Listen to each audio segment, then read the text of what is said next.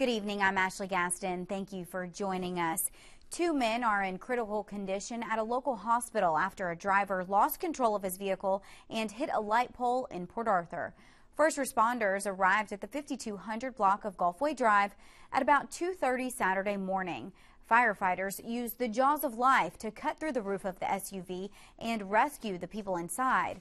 First responders transported the driver and the passenger to Christus Hospital St. Elizabeth in Beaumont.